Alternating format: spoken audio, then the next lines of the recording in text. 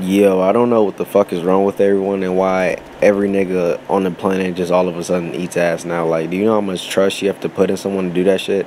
Like, you have to trust that she won't fart and squirt goddamn doodoo chunks all in your mouth or some shit. Like, that shit really ain't the move, bro, because there's always a chance that you gonna have shit on your tongue. Like, and what you gonna do? You gonna beat her ass and go to jail? Cause nigga, you losing either way. You already ate her ass. You already got shit on your tongue. Then you gonna beat her ass and then